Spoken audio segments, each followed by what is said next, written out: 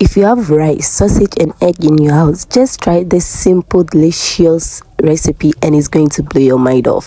First of all i went ahead and cut my sausages into dice cubes. Anyway you're welcome back to my channel and it's your favorite girl Olerki. Thank you so much for clicking on this video.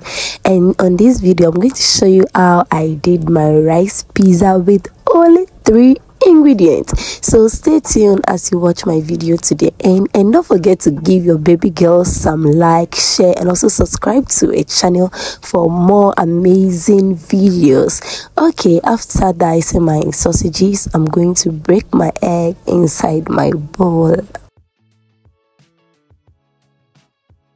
so now i have my old rice that i prepared yesterday and i'm going to use it. So i pour in my sausages and i'm going to give it a stir until everything is well incorporated. You get the point.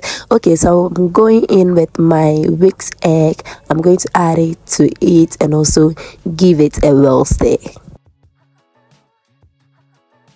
After giving it a stir i'm going in with black pepper. You can also add in um, chili pepper okay is going to give you the amazing results as you need i will then add in some salt to taste and you are all done I call this particular recipe as rice pizza. You don't worry, we are not going to add in cheese though, but when you see the amazing results, you know the reason why I gave it that name. So in my saucepan, I added in some little oil and I'm going to add in my rice mixture and I'm going to spread it in my pan very very well. I'm going to sprinkle my rice pizza with some sliced um, tomatoes. Worry, you can also use spring onions if you have it in your house. Okay, there. So I'm going to allow this to cook for at least four minutes on low heat after four minutes we are going to turn it over. Please be mindful okay? Otherwise you're going to give this delicious pizza a fracture.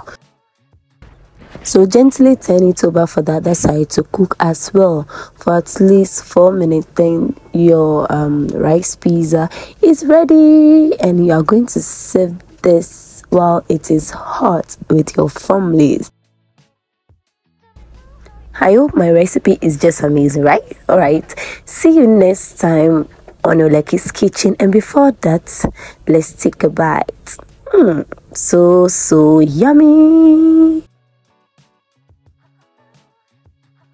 They said chop time, no friend, but you are all invited. Try this recipe soon. Have a nice day. Bye.